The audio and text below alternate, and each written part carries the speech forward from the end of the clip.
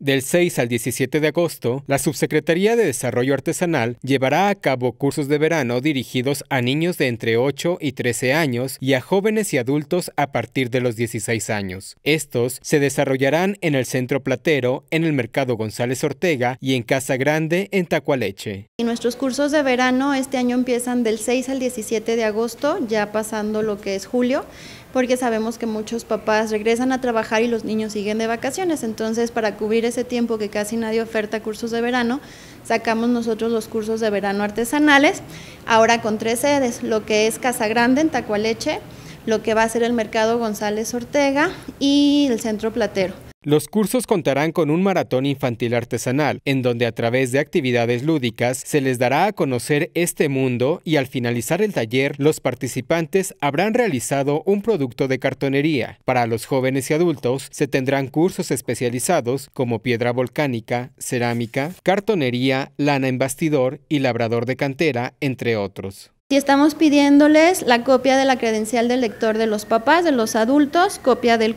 de la CURP del niño, una fotografía a tamaño infantil para su credencial y cubrir la cuota de recuperación.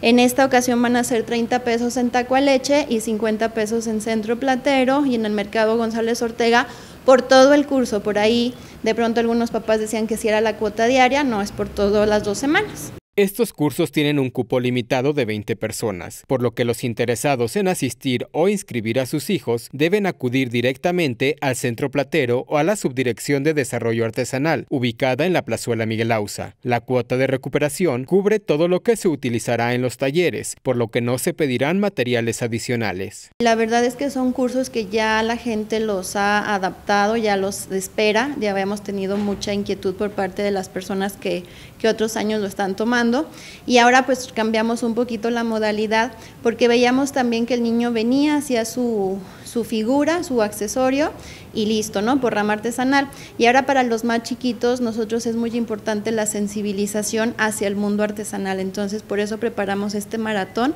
la primera semana para que ellos conozcan lo que es el mundo de Zacatecas artesanal en sus diversas ramas.